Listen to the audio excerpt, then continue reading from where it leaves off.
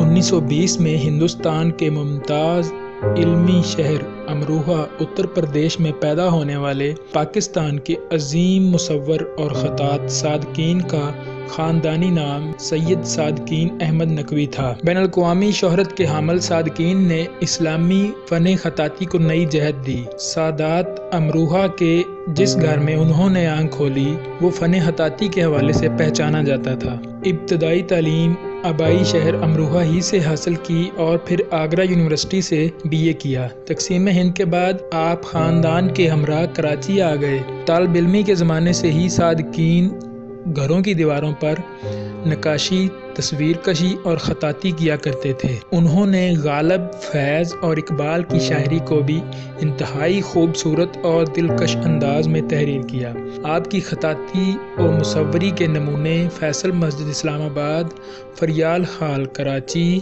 صادقین art gallery اور دنیا کے ممتاز عجائب گھروں میں موجود ہیں۔ ان کی دیوار گیری مصوری کے نمونوں کی تعداد کم و بیش پینتیس ہے، جو آج بھی state bank of Pakistan, Frere hall Karachi, Lahore museum, Punjab university, Aligarh Muslim university, Islamic institute, Delhi اور منگلا ڈیم پاور ہاؤس کی دیواروں پر سجے شائقین فن کو مبہوت کر رہے ہیں۔